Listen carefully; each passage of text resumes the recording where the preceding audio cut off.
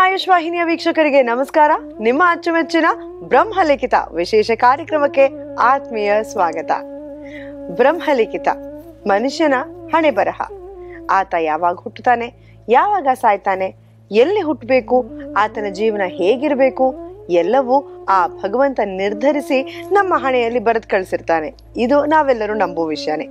ಈಗಾಗಲೇ ಕಳೆದ ಸಂಚಿಕೆಯಲ್ಲಿ, ಅದರ ಹಿಂದಿನ ಸಂಚಿಕೆಯಲ್ಲೂ ಮನುಷ್ಯನ ಹುಟ್ಟು, ಸಾವಿನ ಕುರಿತು ಅನೇಕ ಚರ್ಚೆಗಳನ್ನು ನಡೆಸಿದ್ವಿ. ಪುನರ್ಜನ್ಮದ ಕುರಿತು ನಡೆದಂತಹ ನೈಜ ಘಟನೆಗಳನ್ನು ತಿಳ್ಕೊಂಡ್ವಿ. ಇವತ್ತಿನ ಸಂಚಿಕೆಯಲ್ಲೂ ಕೂಡ ಆ ಆತ್ಮದ ಕುರಿತು, ಆತ್ಮದ ವಿಶ್ಲೇಷಣೆ ಬಗ್ಗೆ ಚರ್ಚೆಯನ್ನು ಮಾಡಲಿದ್ದೀವಿ. ಗುರುಗಳು ಮತ್ತಷ್ಟು ಮಾಹಿತಿಯನ್ನು ತಿಳಿಸ್ಕೊಡ್ತಾರೆ. ಆತ್ಮ ಯಾವ ರೀತಿ ಶಾಂತಿಯನ್ನು ಹೊಂದುತ್ತೆ? ಒಬ್ಬ ಮನುಷ್ಯ ಸತ್ತ ನಂತರ ಅವನ ಜೀವನದಲ್ಲಿ ಏನಾಗಬಹುದು ಯಾವ ರೀತಿ ನಾವು ನಡ್ಕೋಬೇಕು ಅನ್ನೋದ್ರ ಬಗ್ಗೆ ಮಾಹಿತಿ ತಿಳ್ಕೊಳ್ಳೋಣ. ಬನ್ನಿ ನಮ್ಮ ನಿಮ್ಮೆಲ್ಲರ ಅಚ್ಚುಮೆಚ್ಚಿನ ಪ್ರೀತಿಯ ಶ್ರೀಯುತ ಸಚ್ಚಿದಾನಂದ ಬಾಬು ಗುರುಗಳನ್ನ ಕಾರ್ಯಕ್ರಮಕ್ಕೆ ಸ್ವಾಗತಿಸೋಣ. ಗುರುಗಳೇ ಕಾರ್ಯಕ್ರಮಕ್ಕೆ ಆತ್ಮೀಯ ಸ್ವಾಗತ. ನಮಸ್ಕಾರ. ಕಳೆದ ಸಂಚಿಕೆಯಲ್ಲಿ ಸಾವಿನ ಬಗ್ಗೆ ಮಾತಾಡ್ತಿದ್ವಿ.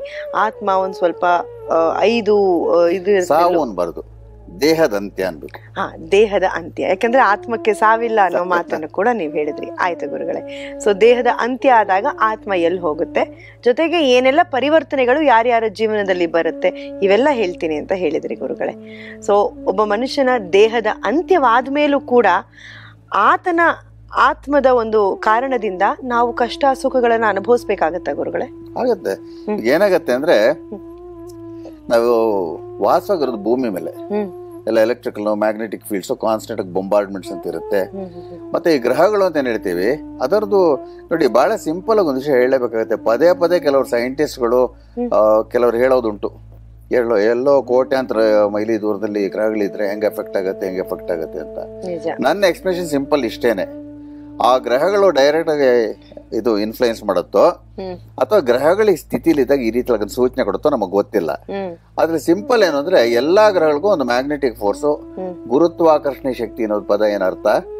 ಗ್ರಾವಿಟೇಷನಲ್ ಪುಲ್ ಅಂತ. ಅಂದ್ರೆ ಇಲ್ಲಿ ಗುರುತ್ವಾಕರ್ಷಣೆ ಶಕ್ತಿ ಅಂತ ಯಾಕೆ ಹೇಳ್ತೀವಿ? ಗುರು ಬಂದು ಅತಿ ದೊಡ್ಡ ಗ್ರಹ. ಅಂಡ್ ಅದು ಗುರುದು ಗ್ರಾವಿಟೇಷನ್ ಪುಲ್ಸ್ ಬಹಳ ಪವರ್ಫುಲ್ ಅಂತ. ಇವಾಗ ಗುರು ಅಲ್ಲಿ ಮೂರು ಹಳ್ಳಗಳ ತರ ಇದೆ ಅಂತ ಕ್ರಿಯೇಟರ್ಸ್ ಒಂದೊಂದು ಹಳ್ಳದಲ್ಲಿ ನಾಲ್ಕು ಭೂಮಿ ಇಡ್ಸತ್ತಂತೆ. ಆ ಸೈಜ್ ಇದೆ ಅಂತ. ಅಂದ್ರೆ ದ ಮ್ಯಾಗ್ನೆಟಿಕ್ ಫೀಲ್ಡ್ಸ್ ಆಫ್ ಗುರು ಅಂತ. ಇವಾಗ ಯಾವ್ದಾದ್ರು ಕ್ಷಿಪಣಿಗಳೆಲ್ಲ ಕಳಿಸ್ತಾರೆ ನೋಡಿ.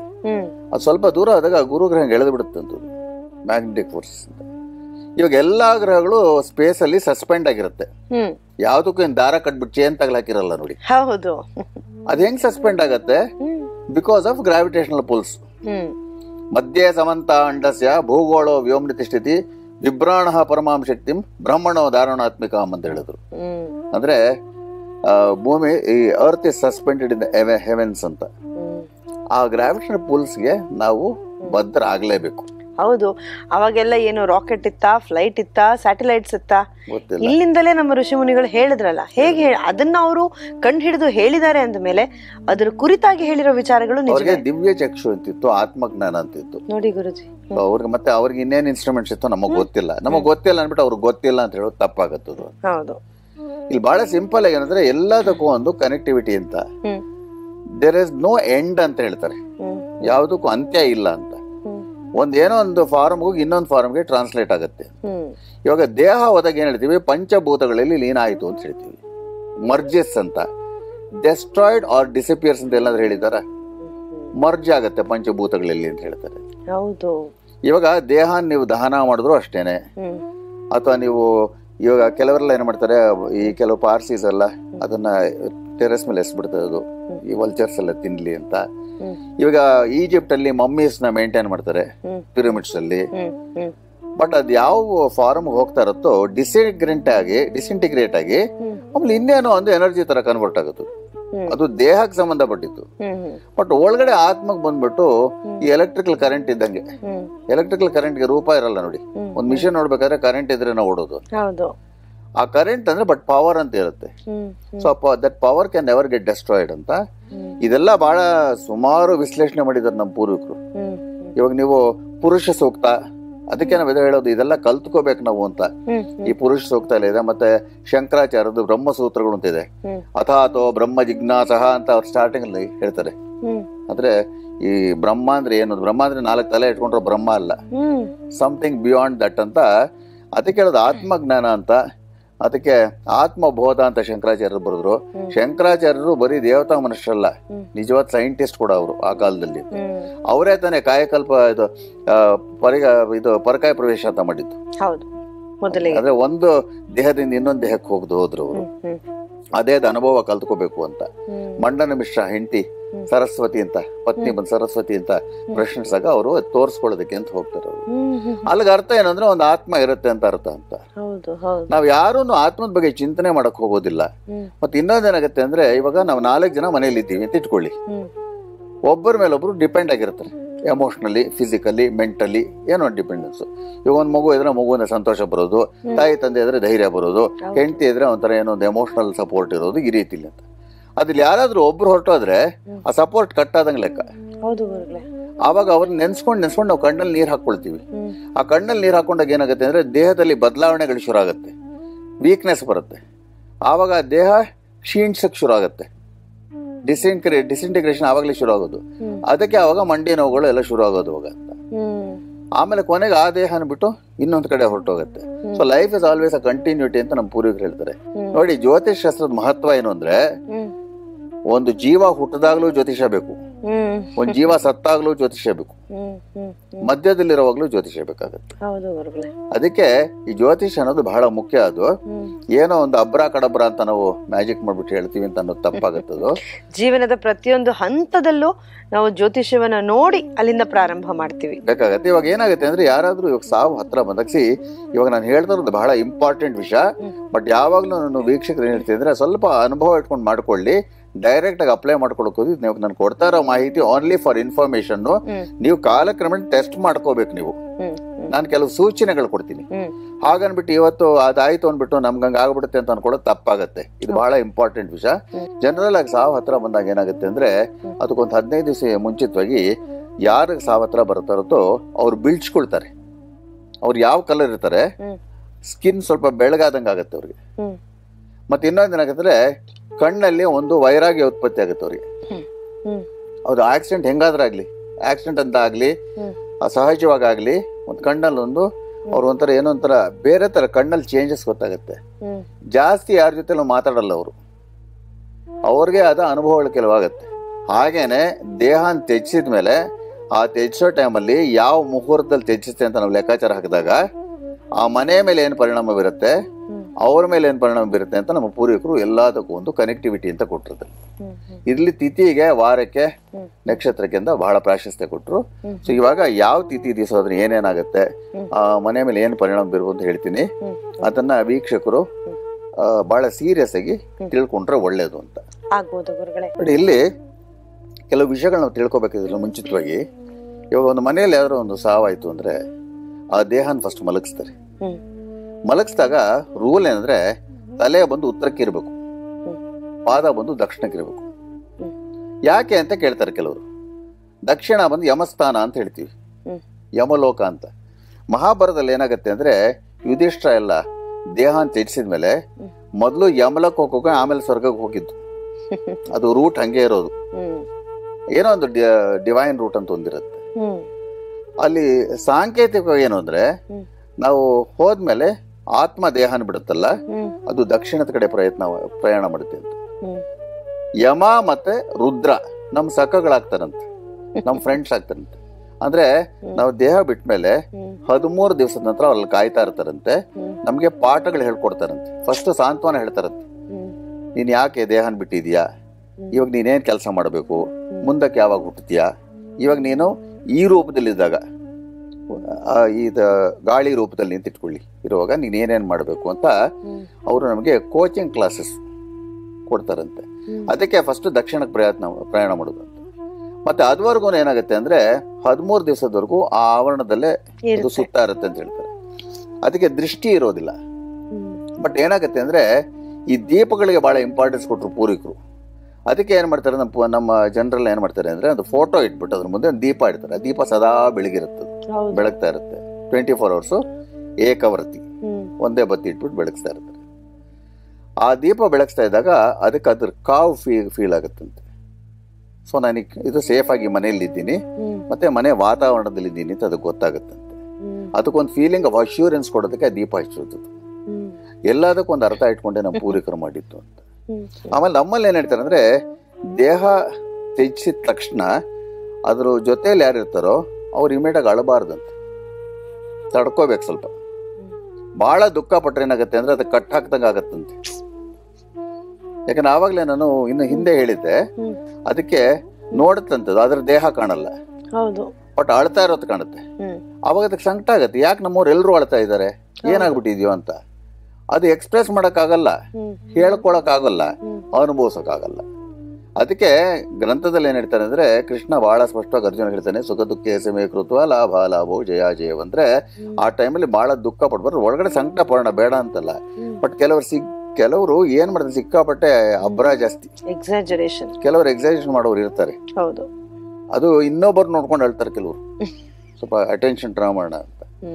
ಅದು ಸ್ವಲ್ಪ ಕಂಟ್ರೋಲ್ ಇಟ್ಕೋಬೇಕಾಗತ್ತೆ ಆತ್ಮಶಾಂತಿಗೆ ಅಂತ ಆಮೇಲೆ ಏನು ಮಾಡ್ತಾರೆ ಪುರೋಹಿತನ ಕರೆಸ್ತಾರೆ. ಪುರೋಹಿತನ ಕರೆಸ್ಬಿಟ್ಟು ಏನು ಮಾಡ್ತಾರೆ ಅಂದ್ರೆ ಸಾಧಾರಣವಾಗಿ ನಮ್ಮಲ್ಲಿ ನಮ್ಮ ಹಿಂದೂ ಧರ್ಮದ ಪ್ರಕಾರ ಭಗವದ್ಗೀತೆ ಎರಡನೇ ಅಧ್ಯಾಯ ಮತ್ತು ಹದಿನಾರನೇ ಅಧ್ಯಾಯದು ಶ್ಲೋಕಗಳನ್ನ ಪಾರಾಯಣ ಮಾಡಿಸ್ತಾರೆ. ಭಗವದ್ಗೀತೆ ಶ್ಲೋಕಗಳಿಗೆ ಬಹಳ ಹೀಲಿಂಗ್ ಪವರ್ ಇದೆ ಅಂತ ಪ್ರೂವ್ ಆಗಿದೆ. ಇವಾಗ ಬಾಂಬೆಲಿ ಒಂದು ರಿಸರ್ಚ್ ಸೆಂಟರ್ ಪ್ರೂವ್ ಮಾಡಿದೆ. ಕೆಲವು ಕಾಯಿಲೆಗಳಿಗೆ ಭಗವದ್ಗೀತೆ ಶ್ಲೋಕಗಳು ಹೇಳ್ತಾ ಇದ್ರೆ ಅದು ಕಾಯಿಲೆಗಳ ವಾಸಿ ಆಗುತ್ತೆ ಇನ್ಕ್ಲೂಡಿಂಗ್ ಕ್ಯಾನ್ಸರ್ ಅಂತ ಹೇಳ್ತಾರೆ ಅವರು. ಅದು ನಾನು ಅವ್ರ ಜೊತೆಲಿ ಕೋಆರ್ಡಿನೇಟ್ ಮಾಡ್ತಾ ಇದ್ದೀನಿ ರಿಸರ್ಚ್ ಸೆಂಟರ್ ಜೊತೆಲಿ. ಓಕೆ ಸೊ ಭಗವದ್ಗೀತೆ ಪಾರಾಯಣ ಮಾಡಿದಾಗ ಏನಾಗುತ್ತೆ ಅಂದ್ರೆ ಅದರ ವೈಬ್ರೇಷನ್ಸ್ ಆತ್ಮಕ್ಕೆ ಟಚ್ ಆಗುತ್ತೆ. ಮತ್ತೆ ಮನೆ ಮಂದಿ ಕಿವಿಗೆ ಬೀಳುತ್ತೆ ನೋಡಿ. ಅದು ಹೀಲಿಂಗ್ ಎಫೆಕ್ಟ್ ಅಂತ. ಸೊ ಎರಡನೇ ಅಧ್ಯಾಯದಲ್ಲಿ ಏನ್ ಮಾಡ್ತಾರೆ ಅಂದ್ರೆ ಇದ್ರ ಬಗ್ಗೆ ಎಲ್ಲ ವಿಶ್ಲೇಷಣೆ ಮಾಡ್ತಾರೆ. ಈ ಸಾವಿನ ಬಗ್ಗೆ. ಸೊ ಅದು ಎಲ್ಲ ಒಂದು ಪದ್ಧತಿ ಅಂತ. ಅಷ್ಟವರೆಗೂ ಹದಿಮೂರು ದಿವಸ ಅದು ಆತ್ಮ ಅಲ್ಲೇ ಸಂಚರಿಸ್ತಾ ಇರುತ್ತಂತೆ ಆಮೇಲೆ ಏನ್ ಮಾಡ್ತಾರೆ ನಮ್ಮಲ್ಲಿ. ವೈಕುಂಠ ಅಂತ ಎಲ್ಲ ಮಾಡ್ತಾರೆ ನೋಡಿ ಸಾಧಾರಣವಾಗಿ ವೈಕುಂಠಕ್ಕೆ ಹೋಗ್ತಾರೆ ಇಲ್ವೋ ಹೋಟೆಲ್ ಇಲ್ಲಿ ಇದ್- ಇದೊಂದು ಹೆಮಿಸ್ಫಿಯರ್ ಆಫ್ ದ ಅರ್ತ್ನ ದಾಟೋದಕ್ಕೆ ಒಂದು ಗೇಟ್ ಓಪನ್ ಮಾಡ್ದಂಗೆ. ಸೊ ಈ ಮನುಷ್ಯ ಸತ್ತಾಗ ತಿಥಿಗಳಿಗೆ ನಾವು ಇಂಪಾರ್ಟೆನ್ಸ್ ಕೊಡ್ತೀವಿ. ನೋಡಿ ಇವಾಗ ತಿಥಿಗಳು ಅಂತ ತಗೊಂಡಾಗ ನಾವು ಜನರಲ್ ಆಗಿ ಅಂದ್ರೆ ತಿಥಿ ವಾರ ಮತ್ತು ನಕ್ಷತ್ರ ಮೂರು ತಗೊಳ್ತೀವಿ. ತಿಥಿಗಳಲ್ಲಿ ಯಾವುದು ಮುಖ್ಯ ಅಂತ ಹೇಳ್ತೀನಿ. ಪ್ರಥಮಿ ಅಥವಾ ಪಾಡ್ಯಮಿ ದ್ವಿತೀಯ ಷಷ್ಠಿ ಅಷ್ಟಮಿ ಏಕಾದಶಿ ದ್ವಾದಶಿ ತ್ರಯೋದಶಿ. ಚತುರ್ದಶಿ ಹಾಗೂ ಅಮಾವಾಸ್ಯ ದಿನಗಳಲ್ಲಿ ಅಂತ್ಯ ಬಂದ್ರೆ ಅದು ಅಶುಭ ಅಂತ ಹೇಳ್ತಾರೆ. ಇಟ್ ಇಸ್ ನಾಟ್ ಫೇವರಬಲ್ ಅಂತ. ಇದನ್ನ ನಮ್ಮ ಮುಂದಿನ ಇದಕ್ಕೆ ಆ ಜನರು ಏನ್ ಮಾಡ್ಬೇಕು ಅಂದ್ರೆ ಈ ತರ ಸಾವು ಬಂದಾಗ. ನಮಗೆಲ್ಲ ಅಶುಭ ಆಗ್ಬಿಡುತ್ತೆ ಅಂತ ಗಾಬರಿ ಪಡಬಾರ್ದು. ಇದು ಸೂಚನೆಗಳು ಕೊಡುತ್ತೆ. ಅದಕ್ಕೆ ಏನ್ ಪ್ರಿವೆನ್ಷನ್ ಮಾಡ್ಕೋಬೇಕು ಮಾಡ್ಕೋಬೇಕು ಅಂತ ದೇವರು ನಮಗೆ ಕೊಟ್ಟಂತ ಕೆಲಸ ಸೂಚನೆಗಳು. ತೃತೀಯ ಚತುರ್ಥಿ ಪಂಚಮಿ ಸಪ್ತಮಿ ನವಮಿ ಹಾಗೂ ದಶಮಿ ದಿನಗಳಲ್ಲಿ ಮೃತ್ಯು ಬಂದ್ರೆ ಅದು ಶುಭ ಅಂತ ಹೇಳ್ತಾರೆ. ಯಾವ್ದಕ್ಕೆ ಶುಭ ಅಂದ್ರೆ ಒಂದು ಆ ಆತ್ಮಕ್ಕೂ ಶುಭ ಆಗ್ಬೋದು ಆ ಮನೆಯ ಮಂದಿಗೂ ಶುಭ ಬೇರೆ ರೀತಿಯಲ್ಲಿ ಆಗ್ಬೋದು ಅಂತ. ಅಫ್ಕೋರ್ಸ್ ಹೋದಾಗ ಎಲ್ರಿಗೂ ದುಃಖ ಇರ್ತದೆ ಬೇರೆ ವಿಷಯ. ಎರಡನೇದು ಬಂದು ನಕ್ಷತ್ರ ದೋಷ ಅಂತ ಹೇಳ್ತೀವಿ. ನಕ್ಷತ್ರಗಳಲ್ಲಿ ಆ, ಸಾವು ಬರುವಂತ ದಿನ. ರೋಹಿಣಿ ನಕ್ಷತ್ರ ಧನಿಷ್ಠ ನಕ್ಷತ್ರ ಶತಭಿಷ ನಕ್ಷತ್ರ ಪೂರ್ವಭಾದ ನಕ್ಷತ್ರ ರೇವತಿ ನಕ್ಷತ್ರ ಮೃಗಶಿರ ನಕ್ಷತ್ರ ಪುನರ್ಸು ನಕ್ಷತ್ರ ಉತ್ತರ ನಕ್ಷತ್ರ ಚಿತ್ತ ನಕ್ಷತ್ರ ವಿಶಾಖ ನಕ್ಷತ್ರ ಉತ್ತರಾಷಾಢ ನಕ್ಷತ್ರ ಹಾಗೂ ಮಕ ನಕ್ಷತ್ರಗಳು ಇದ್ರೆ ಅದು ಅಶುಭ. ಅಂತ ದಿನಗಳು ಹೋದ್ರೆ ಅದು ಶುಭವಲ್ಲ ಅಂತ. ಇನ್ನ ಅಶ್ವಿನಿ ಭರಣಿ ಕೃತಿಕ ಆರ್ದ್ರ. ಇವಾಗೆಲ್ಲ ಆರಿದ್ರ ಅಂತಾರ ಆರಿದ್ರ ಅಲ್ಲ ಆರ್ದ್ರ ಅಂತ ಪುಷ್ಯಮಿ ಆಶ್ಲೇಷ ಪುಬ್ಬ ಹಸ್ತ ಸ್ವಾತಿ ಅನುರಾಧ ಜ್ಯೇಷ್ಠ ಮೂಲ. ಮೂಲ ಅಶುಭ ಅಂತ ಹೇಳ್ತಾರೆ ನೋಡಿ. ಇಲ್ಲಿ ಬಹಳ ಇಂಪಾರ್ಟೆಂಟ್ ಇದು. ಮೂಲ ಪೂರ್ವಾಷಾಢ ಶ್ರವಣ ಉತ್ತರ ಭಾದ್ರ ನಕ್ಷತ್ರ ಇಂಥ ದಿನಗಳ ಅಂತ್ಯ ಬಂದ್ರೆ ಅದು ಶುಭ ಅಂತ ಹೇಳ್ತಾರೆ. ಅದಕ್ಕೆ ಮೂಲ ನಕ್ಷತ್ರ ಹುಟ್ಟಿದ್ರೆ ಬೈಕೊಂಡು ಶಾಪಗಳು ಹಾಕಬಾರ್ದು ಅಂತ ಹೇಳ್ತೀವಿ. ಹೌದು. ಮತ್ತೆ ಅಲ್ಲಿ ಇಲ್ಲಿ ಹೇಳಕ್ ಇಷ್ಟಪಡ್ತೀನಿ ಮೂಲ ನಕ್ಷತ್ರ ಇದ್ರೆ ಹೆಣ್ಣಿಗೆ ಹಿಂಗಾಗ್ಬಿಡುತ್ತೆ ಹಂಗಾಗ್ಬಿಡುತ್ತೆ ಇದೆಲ್ಲ ಕತೆಗಳು ಕಟ್ತಾರೆ ನೋಡಿ. ಯಾವ್ದೆಲ್ಲ ಒಂದು ನಕ್ಷತ್ರದಿಂದ ಏನು ಆಗಲ್ಲ ಒಳ್ಳೇದಾಗಲ್ಲ ಕೆಟ್ಟದಾಗಲ್ಲ ಮತ್ತೆ ಇನ್ನೊಬ್ಬರು ಕೆಡಕಾಗ್ಬೇಕು ಅಂದ್ರೆ ಅವ್ರ ಹಣೆಯಲ್ಲಿ ಬರೆದಿರ್ಬೇಕು ಈಗ ಮೂಲ ನಕ್ಷತ್ರದ್ದು ಮನೆ ಕೊಟ್ರೆ ಮಾವನಿಗೆ. ಅಂತ್ಯ ಬಂದ್ಬಿಡುತ್ತೆ. ಅಂದ್ರೆ ಆತನ ಜಾತಕದಲ್ಲಿ ಬರೆದ್ಬೇಕಲ್ಲ? ಇವಾಗ ನಾನು ಮೂಲ ನಕ್ಷತ್ರದಲ್ಲಿ ಹುಟ್ಟಿದ್ರೆ ನಮ್ಮ ಅವನ್ ಆಯಸ್ ನಾನ್ ಡಿಸೈಡ್ ಮಾಡಕ್ಕಾಗಲ್ಲ ನಿಜ ನಿಜ. ಅದಕ್ಕೆ ನಾನು ಯಾವಾಗ ಹೇಳೋದು ಈ ಪ್ರೋಗ್ರಾಮ್ಗೆ ಬ್ರಹ್ಮ ಲಿಖಿತ ಅಂತ ಹೆಸರು. ಎಲ್ಲ ಅವನೇ ಬರೆಯೋದು ಅಂತ. ಏನ್ ಮಾಡ್ತಾರೆ ಅಂದ್ರೆ ಕೆಲವರು ಅದು ಹಾರ್ಟ್ ನಿಂತೋಗಿರುತ್ತೆ. ಅವಾಗ ಡಾಕ್ಟರ್ಸ್ ಬಂದು ರಿಸೆಕ್ಟಿಸೇಷನ್ ಅಂತ ಮಾಡ್ತಾರೆ. ಹೊಡೆದು ಹೊಡೆದು. ಪಂಪ್ ಮಾಡ್ತಾರೆ. ಆವಾಗ ಸಡನ್ ಆಗಿ ಬಿಟ್ಟು ಆ ಜೀವ ಬಂದ್ಬಿಡುತ್ತಲ್ಲ ಅದಕ್ಕೆ ಏನ್ ಹೇಳ್ತೀರಾ? ಆಯ್ಸ್ ಇರಲಿಲ್ಲ ಬಟ್ ಆಯಸ್ ಬಂದ್ಬಿಡ್ತು ಅಂತ. ಆಯಸ್ ಹೋಗೋದು ಅಂದ್ರೆ ಅರ್ಥ ಏನು ಅಂದ್ರೆ ಬಾಡಿ ಆರ್ಗನ್ಸ್ ಎಲ್ಲ ಫಂಕ್ಷನಿಂಗ್ ಸ್ಟಾಪ್ ಆಗುತ್ತೆ ಅಂತ ಅರ್ಥ. ಯಾವ ಆರ್ಗನ್ನು ಕೆಲಸ ಮಾಡೋದಿಲ್ಲ ಅಂತ. ಎರಡನೇದಾಗ ಏನಾಗುತ್ತೆ ಅಂದ್ರೆ ಈ ಮೆಡಿಕಲ್ ಆಗಿ ತಗೊಳ್ಳಿ. ಆ ಹಾರ್ಟ್ ಸ್ಟಾಪ್ ಆದಾಗ ಆ heart is running because of electricity ಅಂತ ಹೇಳ್ತಾರೆ. ಎಲೆಕ್ಟ್ರಿಕಲ್ ಕರೆಂಟ್ಸ್ ಬಗ್ಗೆನೇ ಮಾತಾಡೋದು ನಮ್ಮಲ್ಲಿ. ಆ ಎಲೆಕ್ಟ್ರಿಸಿಟಿ ಪವರ್ ಸಪ್ಲೈ ಕಟ್ ಆದ್ರೆ ಹಾರ್ಟ್ ನಿಂತೋಗುತ್ತೆ. ಎಷ್ಟೋ ಯೋಗಿಗಳು ಹದಿನೈದು ನಿಮಿಷ ಉಸಿರು ಕಟ್ಟೋರು ಇದ್ದಾರೆ ಹಾರ್ಟ್ ಬಿಟ್ಟು ನಿಂತಿರುತ್ತೆ. ಅವ್ರ ಬಾಡಿ ಟೆಸ್ಟ್ ಮಾಡಿದಾಗ ಅವ್ರು ಹೆಣ ಅಂತಾನೆ ಹೇಳ್ಬಿಡ್ಬೋದು. But there life is still there ಆ ಪ್ರಾಣ ಅನ್ನೋದು ಏನು? ಯಾರಿಗೂ ಅರ್ಥವಾಗಿಲ್ಲ ಇದುವರೆಗೂ ಅಂತ. ಹಿಡಿದಿಟ್ಕೊಂಡಿರ್ತಾರೆ. ಸೊ ಅವ್ರಿಗೆ ಆಯಸ್ ಅಂತಿದ್ರೆ ಅದೇನಾಗತ್ತೆ ಗಂಡಾಂತರ ಅಂತ ಹೇಳ್ತೀವಿ. ಆ ಟೈಮ್ ಒಂದು ಜೀವ ಹೋದಂಗೆ ಹೋಗ್ಬಿಟ್ಟು ಅದು ಪಾರ್ಟ್ಲಿ ಹೊರಗಡೆ ಇರುತ್ತಂತೆ ಅದ್ರದ್ದು. ಆರ ಅಂತ ಹೇಳ್ತೀವಲ್ಲ ಸೂಕ್ಷ್ಮ ಶರೀರ ಅಂತ. ಆ ಹಾರ್ಟ್ ಪಂಪ್ ಮಾಡಿದಾಗ ಸಡನ್ ಆಗಿ ಹಿಂಗಂತಾರ ನೋಡಿ. ಅವಾಗ ಅದು ಮತ್ತೆ ಆ ಫೋರ್ಸ್ನ ಒಳಗೆ ಹೇಳ್ಕೊಡ್ತಾರೆ ಅಂತ. ಸೊ ಎಲ್ಲದಕ್ಕೂ ಒಂದು ಎಕ್ಸ್ಪ್ಲನೇಷನ್ ತನ್ನ ಪೂರ್ವಿಕರು ಕೊಡ್ತಾರೆ. ಹಾಗೆ ಗುರುಗಳೀಗ ಯಾರಾದ್ರೂ ನೀವು ಹೇಳ್ದಾಗೆ ದೇಹ ಬಿಟ್ಟಾಗ ದೊಡ್ಡ ಪ್ರಾಣ ಚಿಕ್ಕ ಪ್ರಾಣ ಅಂತಾರೆ. ನಿಜಾನ ಗುರುಗಳೇ? ಇಲ್ಲ ಅದು ಒಂದೇ ಮಹಾಪ್ರಾಣ ಒಂದೇ. ಮಹಾಪ್ರಾಣ ಅಂದ್ರೆ ಹನುಮಂತ ಅಂತ ಅದು ಬೇರೆ. ಬಟ್ ಒಂದೇ ಪ್ರಾಣ ಇರೋದು.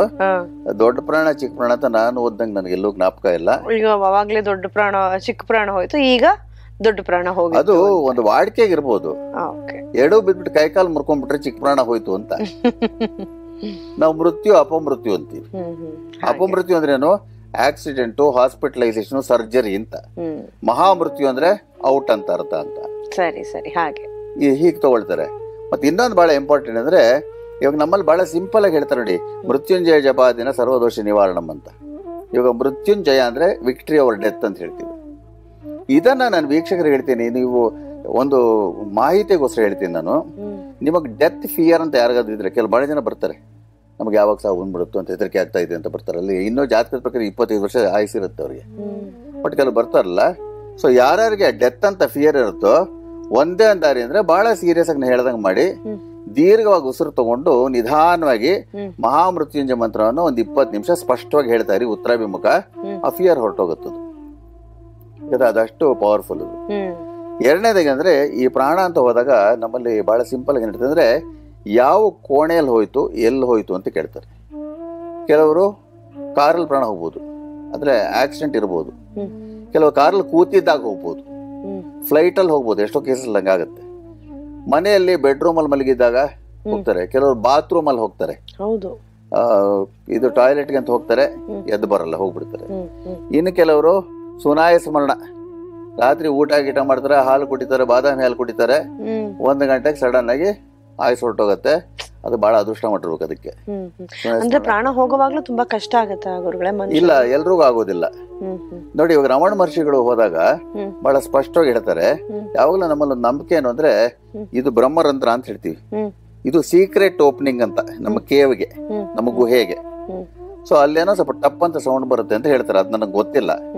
ಬಟ್ ಜನರಲ್ ಆಗಿ ಇವಾಗ ರಮಣ ಮಹರ್ಷಿಗಳು ಇದ್ರ ಬಗ್ಗೆ ಮಾತಾಡಿದಾಗ ಏನ್ ಹೇಳಿದ್ರು ಅಂದ್ರೆ. ಅವರೇ ಪ್ರಾಣ ಬಿಟ್ಟಾಗ. ಇಲ್ಲಿಂದ ಒಂದು ಲೈಟ್ ಎಸ್ಕೇಪ್ ಆಯ್ತಂತೆ ಸುಮಾರು ಲಕ್ಷಾಂತರ ಜನ ನೋಡಿದಾರಂತಲ್ಲಿ ಅದು ಅರುಣಾಚಲೇಶ್ವರದ ಬೆಟ್ಟ ಮೇಲ್ ತುದಿಗೆ ಹೋಗಿ ಸೇರ್ಕೊಳ್ತು ಅಂತ ಹೇಳ್ತಾರೆ. ಆಮೇಲೆ ಟಪ್ ಅಂತ ಸೌಂಡ್ ಬಂತು ಅಂತ ಹೇಳ್ತಾರೆ. ಅವರು ರಮಣ ಮಹರ್ಷಿಗಳದು. ಸೊ ಏನಾಗುತ್ತೆ ಅಂದ್ರೆ ನಮ್ಮಲ್ಲಿ ಜನರಲ್ ಹೇಳೋದು ಎರಡು ಭಾಗದಿಂದ ಇದು ಪ್ರಾಣ ಹೋಗ್ಬೋದು. ಇಲ್ಲಿಂದ ಒಂದು. ಇಲ್ಲ ಪಾದಗಳಿಂದ. ಅಂತ. ಹೌದಾ ಗುರುಗಳೇ? ಪಾದಗಳಿಂದ ಕೆಲವರು ಹೋಗುತ್ತೆ. ಒಂಬತ್ತು ದ್ವಾರಗಳಿದೆ. ಎಲ್ಲಿಂದ ಬೇಕಾದ್ರೂ ಹೋಗ್ಬೋದು. ಇಲ್ಲ ಇಲ್ಲ. ಸುಳ್ಳು. ಸಿ ಇಂದ್ರಿಯಗಳು ಬೇರೆ. ದ್ವಾರಗಳಲ್ಲ. ಇಂದ್ರಿಯ. ನಮಗೆ ಎರಡು ಪ್ಲಗ್ ಪಾಯಿಂಟ್ ಅಷ್ಟೇ ನಮಗೆ. ಒಂದ್ ಇಲ್ಲಿ ಒಂದು ಪಾದದಲ್ಲಿ ಅಂತ. ಅದು ನಮ್ಮ ಗ್ರಂಥ ನಾನು ಹೇಳ್ತಾ ಇರೋದು ಗ್ರಂಥಗಳಲ್ಲಿ. ಅದಿನ್ನೂ ಅದು ಇನ್ನೂ ಸ್ವಲ್ಪ ರಿಸರ್ಚ್ ಮಾಡಬೇಕಾಗಿದೆ ಬಟ್ ಏನಾಗತ್ತೆ ಅಂದ್ರೆ ಯಾರಿಗೆ ಪಾದದಿಂದ ಹೋಗುತ್ತೋ ಇದು ಆ ಜೀವಾಂತ ಎಸ್ಕೇಪ್ ಆಗ್ಬಿಡುತ್ತಲ್ಲಿ. ಅವ್ರು ಸ್ವಲ್ಪ ಕಡಿಮೆ ಅದೃಷ್ಟ ಮಾಡಿದ್ದಾರೆ ಅಂತ. ಯಾರಿಗೆ ಬ್ರಹ್ಮರಂದ್ರಿಂದ ಹೋಗುತ್ತೋ ಅವ್ರು ನೆಕ್ಸ್ಟ್ ಬಂದ್ಬಿಟ್ಟು ಸ್ವರ್ಗ ಸಿಟ್ಕೊಳ್ತಾರೆ. ಈ ಸ್ವರ್ಗ ನರಕ ಇದೆ ನೋಡಿ. ಅದಕ್ಕೂ ಒಂದು ಅರ್ಥ ಇದೆ. ಟೆಕ್ನಿಕಲ್ ಆಗಿ ಅರ್ಥ ಹೇಳ್ತಾರೆ ಸೈಂಟಿಫಿಕ್ ಆಗಿ. ಅದ್ರ ಬಗ್ಗೆ ನಾನು ಮುಂದಿನ ಸಂಚಿಕೆಗಳಲ್ಲಿ ತಿಳಿಸ್ತೀನಿ. ಈ ಸಿನಿಮಾಗಳು ತೋರ್ಸಂಗ ಅಲ್ಲಿ ಯಮ ಕೂತಿರ್ತಾನೆ. ಮತ್ತೆ ನಮ್ಮನೆಲ್ಲ ಪಕೋಡ ತರ ಫ್ರೈ ಮಾಡ್ತಾ ಇರ್ತಾನೆ ಅಂತ. ಅದೆಲ್ಲ ಪಕೋಡ ತರ ಫ್ರೈ ಮಾಡಕ್ಕಾಗಲ್ಲ. ಯಾಕಂದ್ರೆ ನಮ್ಗೆ ದೇಹ ಇರಲ್ವಲ್ಲ. ಸುಮ್ಮನೆ ಸಿನಿಮಾಗಳಿಗೆ ಸೇರಿ ಅದು. ಬಟ್ ಆ ಲೋಕ ಅಂತ ಏನಿದೆ ಬಹಳ ಲೋಕಗಳಿದೆ. ಇವಾಗ ನಮಗ್ ಕಾಣಲ್ಲ ಅಂತ ನಾವು ಲೋಕ ಇಲ್ಲ ಅಂತ ಹೇಳಕ್ಕಾಗಲ್ಲ. ಎಷ್ಟೋ ಸರ್ತಿ ಯು ಎಫ್ ಓಸ್ ಅಂತ ಬಹಳ ಜನ ಹೇಳಿದಾರಲ್ಲ. ಅನ್ಎಡೆಡ್ ಫ್ಲೈಯಿಂಗ್ ಆಬ್ಜೆಕ್ಟ್ಸ್ ನೋಡಿದ್ದೀವಿ ಅಂತ. ಹೌದು ಹೌದು ಹೌದು. ಎಲ್ಲರೂ ಸುಳ್ಳು ಹೇಳಲ್ಲ ನೋಡಿ ಅದು. ನಿಜ. ಸೊ ಇವಾಗ ಏನಾಗುತ್ತೆ ಅಂದ್ರೆ ನಾವು ತಿಥಿ ವಾರ ನಕ್ಷತ್ರ ಇಷ್ಟು ತಗೊಳ್ತೀವಿ. ಸೊ ಯಾವ್ಯಾವ ತಿಥಿಯಲ್ಲಿ ಹೋದ್ರೆ ಏನಾಗುತ್ತೆ ಅಂತ ಅದನ್ನ ನಾನು ಹೇಳಕ್ ಶುರು ಮಾಡ್ತೀನಿ. ಇವು ಪ್ರತಿಮೆ ತಿಥಿ ಫಸ್ಟ್ ತಿಥಿಯಲ್ಲಿ ಹೋದ್ರೆ ಏನಾಗುತ್ತೆ ಅಂದ್ರೆ ಈ ದಿನ ಸಾವು ಬಂದ್ರೆ ಜನರಲ್ ಆಗಿ ನಾನು ನೋಡಿರೋದು ಮತ್ತೆ ನಮ್ಮ ಗ್ರಂಥಗಳಿರೋದು ಆ ಮನೆಯಲ್ಲಿ ಎಲ್ರಿಗೂ ಜೀವನ ಪರ್ಯಂತ ಏನಾದರೂ ಕಷ್ಟಗಳು ಬರ್ತಾನೆ ಇರುತ್ತೆ. ಒಂದಾದ್ಮೇಲೆ ಒಂದಾದ್ಮೇಲೆ ಒಂದು ಚಿಂತೆ ಹುಟ್ಕೊಳ್ತಾನೆ ಇರುತ್ತೆ ಹೊಸ ಸಮಸ್ಯೆ ಹುಟ್ಕೊಳ್ತಾನೆ ಇರುತ್ತೆ. ಮತ್ತೆ ಆ ಆತ್ಮಕ್ಕೆ ಹದಿನಾರು ವರ್ಷ ಶಾಂತಿ ಆಗಲ್ಲ ಅಂತ ನಮ್ಮ ಗ್ರಂಥಗಳಲ್ಲಿ ಹೇಳ್ತಾರೆ. ಸಿಕ್ಸ್ಟೀನ್ ಇಯರ್ಸು ಭೂಮಿ ಹೆಮಸ್ಫಿಯರ್ನೇ ಸುಟ್ತಾ ಸುತ್ತಾ ಇರುತ್ತೆ ಅಂತ ಹೇಳ್ತಾರೆ. ಇದು ಗರುಡ ಪುರಾಣದಲ್ಲಿ ಕೊಡುವಂಥದ್ದು. ಮನೆಯ ಬದಿಯಲ್ಲೇ ವಾಸವಾಗಿದ್ದು ದುಃಖ ಪಡ್ತಾ ಇರುತ್ತಂಥದ್ದು ಆ ಆತ್ಮ. ಆವಾಗ ಏನಾಗುತ್ತೆ ಅಂದ್ರೆ ಅದ್ರ ವೈಬ್ರೇಷನ್ಸ್ ಇವ್ರಿಗೆ ಫೀಲ್ ಆಗ್ತಾ ಇರುತ್ತೆ. ಅದು ಬಹಳ ನೆಗೆಟಿವ್ಸ್ ಆಗಿ ಇವ್ರು ಯಾವುದೇ ಕೆಲಸ ಕೈ ಹಾಕಿದ್ರು ಮುಂದಕ್ಕೆ ಹೋಗೋದಿಲ್ಲ ಸಡನ್ ಆಗಿ ಆ, ಇವಾಗ ಕಾಯಿಲೆ ಬಂತು ಅಂತ ಆಸ್ಪತ್ರೆಗೆ ಹೋದ್ರೆ ವಾಸಿ ಆಗೋದಿಲ್ಲ ಇಲ್ಲ ಸ್ಕೂಲ್ಗೆ ಅಡ್ಮಿಷನ್ ಬೇಕು ಅಂದ್ರೆ ಅದು ಆಗೋದಿಲ್ಲ ಆ ರೀತಿಯಲ್ಲಿ ಈ ಪ್ರಥಮೆ ದಿವಸ ಹುಟ್ಟಿದ್ರೆ ಆ ರೀತಿಯಲ್ಲಿ ಆಗುತ್ತೆ ಅಂತ ಹೇಳ್ತಾರೆ. ಇನ್ನು ದ್ವಿತೀಯ ಎರಡನೇ ತಿಥಿ ಹುಟ್ಟಿದ್ರೆ ಏನಾಗುತ್ತೆ ಹೋದ್ರೆ ಏನಾಗುತ್ತೆ ಅಂದ್ರೆ ದ್ವಿತೀಯ ದಿನ ಸಾವು ಬಂದ್ರೆ ಆ ಮನೆಯ ಮಂದಿಗೆ ಯಾವಾಗ್ಲೂ ಹಣದ ಕೊರತೆ ಇರುತ್ತಂತೆ. ಫೈನಾನ್ಷಿಯಲ್ ಪ್ರಾಬ್ಲಮ್ಸ್ ಇರುತ್ತೆ. ಅವ್ರು ಎಷ್ಟೇ ಕೋಟಿ ಕೋಟಿ ಮಾಡಿ ಹೋಗಿರ್ಲಿ ಫೈನಾನ್ಷಿಯಲ್ ಪ್ರಾಬ್ಲಮ್ಸ್ ಇರುತ್ತೆ. ಆ ಆತ್ಮಕ್ಕೆ ಕೆಟ್ಟ ಪ್ರೇತಾತ್ಮಗಳ ಸಹವಾಸದಿಂದ ಅದಕ್ಕೂ ಒಂದು ಸಹವಾಸ ಅಂತ ಬರುತ್ತೆ. ಸದಾ ಹೆದರಿಕೆ. ಅದೇ ಅದಕ್ಕೆ ಒಂಥರ ಒಂಟಿ ಫೀಲಿಂಗ್ ಬಂದ್ಬಿಡುತ್ತಂತೆ ಇವಾಗ ಬಹಳ ಸಿಂಪಲ್ ಆಗಿ ಅಂತ ಹೇಳ್ಬೇಕು ಅಂದ್ರೆ ನಮ್ಮ ಸುತ್ತ ಜನ ಇರ್ತಾರೆ ನೋಡಿ. ಹುಡುಗರು ಸ್ಕೂಲ್ಗೆ ಹೋದಾಗ. ಒಂದ್ಸರ್ತಿ ಹೇಳ್ತಾರೆ ನಮ್ಮ ಫ್ರೆಂಡ್ಸ್ ಯಾರು ಸರಿ ಇಲ್ಲ ರೇಗಿಸ್ತಾರೆ ರ್ಯಾಗ್ ಮಾಡ್ತಾರೆ ಹೊಡಿತಾರೆ ಬಡಿತಾರೆ ಬೈತಾರೆ ಅಂತ. ಈ ಆತ್ಮನ ದೇಹದ ಹೊಸದಾಗ ಬಂದಾಗ ಕೆಲವು ಕೆಟ್ಟ ಪ್ರೇತಾತ್ಮಗಳು ಇರುತ್ತೆ. ಸ್ಯಾಡಿಸ್ಟಿಕ್ ಆಗಿ. ಅದಕ್ಕೂ ಬುದ್ಧಿ ಬರಲ್ಲ. ಅದು ಹಿಂಸೆ ಕೊಡುತ್ತಂತದು ಹ್ಮ್. ಹಿಂಸೆ ಕೊಡುತ್ತಂತೆ ಅದಕ್ಕೆ ಸದಾ ಹೆದರಿಕೆ ಹಾಗೇನೆ ಹದಿನಾಲ್ಕು ವರ್ಷ ಮನೆ ಹತ್ರ ಇರುವಂತ ಅಲ್ಲಿ ಆ ಕಾಲದಲ್ಲಿ ಹೇಳಿದ್ದು ಹೊಂಗೆ ಮರದಲ್ಲಿ ವಾಸವಾಗಿರುತ್ತೆ ಅಂತ. ಸೊ ಈ ರೀತಿಯಲ್ಲಿ ದ್ವಿತೀಯ ದಿವಸ ಹೋದ್ರೆ ಮನೆ ಮುಂದೆ ಹೊಂಗೆ ಮರ ಇದ್ರೆ ಅಲ್ಲಿರ್ತಾರೆ. ಅಲ್ಲಿರ್ತಾರೆ ಅಂತ. ಅದಕ್ಕೆ ಹೆಂಗ್ ಕಂಡುಹಿಡಿಯೋದು ಅಂತ ಅದು ಆಮೇಲೆ ಮುಂದಿನ ಸಂಚಿಕೆಗಳಲ್ಲಿ ತಿಳಿಸಿ. ಮತ್ತೆ ಮಿಕ್ಕಿದ ತಿಥಿಗಳಲ್ಲಿ ಆದ್ರೆ ಏನೇನಾಗುತ್ತೆ ಅಂತ ಅದು ತಿಳಿಸ್ತೀನಿ. ಆಗ್ಬಹುದು ಗುರುಗಳೇ. ಹಾಗೆ ಎಲ್ಲರಿಗೂ ಒಂದು ಕುತೂಹಲ ಭಯ ಕೂಡ ಇರುತ್ತೆ. ಅಂದ್ರೆ ತಂದೆ ತಾಯಿಯೋ ನೀವು ಹೇಳ್ದಾಗೆ ಮನೇಲಿ ಯಾರೋ ಒಬ್ರು ಹೋದಾಗ ಅವ್ರು ಏನಾದ್ರು ಅವ್ರಿಗೆ ಮುಕ್ತಿ ಸಿಕ್ತೋ ಇಲ್ವೋ ಅನ್ನುವಂಥದ್ದು ಇರುತ್ತೆ. ಹಾಗೆ ನಾವು ಎಲ್ಲಾದರೂ ಕೇಳಕ್ಕೆ ಹೋದಾಗ ಒಬ್ಬೊಬ್ರು ಒಂದೊಂದು ಕತೆ ಹೇಳಿ ಕಳ್ಸಿರ್ತಾರೆ ಈ ರೀತಿ ನಾವೇ ವಿಚಾರಗಳನ್ನು ತಿಳ್ಕೊಂಡಾಗ ನಮ್ಮ ಮನಸ್ಸಿಗೆ ನಾವೇ ಸ್ವಲ್ಪ ಸಾಂತ್ವನ ಕೂಡ ಹೇಳ್ಕೋಬಹುದು ಯಾಕೆ ವಿಷಯ ನಮಗೆ ಸ್ವಲ್ಪ ಗೊತ್ತಿರುತ್ತೆ. ಹಾಗಾಗಿ ಇಂಥ ವಿಚಾರಗಳನ್ನ ಒಬ್ಬ ಕಾಮನ್ ಮ್ಯಾನ್ಗೂ ಕೂಡ ನೀವು ತಿಳಿಸ್ಕೊಡ್ತಾ ಇದ್ದೀರಾ. ಇದೊಂದು ಒಳ್ಳೆ ಪ್ರಯತ್ನ. ಇಂಥ ವಿಚಾರಗಳು ನಿಮ್ಮಿಂದ ಇನ್ನಷ್ಟು ಬರಲಿ. ಅಂತ ನಾವು ಕೂಡ ಎದುರು ನೋಡ್ತಾ ಇರ್ತೀವಿ ಗುರುಗಳೇ. ಈ ಮಾಹಿತಿ ಬಗ್ಗೆ ಮುಂದಿನ ಸಂಚಿಕೆಯಲ್ಲೂ ತಿಳಿಸ್ಕೊಡ್ತೀನಿ ಎಂದಿದ್ದೀರಾ? ಅದಕ್ಕಾಗಿ ನಾವು ಕಾಯ್ತಿರ್ತೀವಿ. ಧನ್ಯವಾದಗಳು ನಮಸ್ಕಾರ. ವೀಕ್ಷಕರೇ ಮನುಷ್ಯನ ಜೀವನ ಸಾವು ಅಂದ್ರೆ ಆತ ದೇಹವನ್ನ ಬಿಟ್ಟ ನಂತರ ಏನಾಗತ್ತೆ? ಯಾವ ನಕ್ಷತ್ರದಲ್ಲಿ ಆತ ದೇಹ ಬಿಟ್ರೆ ಏನೆಲ್ಲ ತೊಂದರೆಗಳಾಗುತ್ತೆ? ಏನೆಲ್ಲ ಅನುಭವಗಳಾಗುತ್ತೆ ಅನ್ನೋದನ್ನ ಈ ಮಾ ಇವತ್ತಿನ ಸಂಚಿಕೆಯಲ್ಲಿ ತಿಳ್ಕೊಂಡಿದ್ದೀವಿ. ಇದ್ರ ಬಗ್ಗೆ ಮಾಹಿತಿ ಮತ್ತಷ್ಟು ತಿಳಿಯೋಣ ಮುಂದಿನ ಸಂಚಿಕೆಯಲ್ಲಿ. ಅಲ್ಲಿವರೆಗೂ ನಮಸ್ಕಾರ.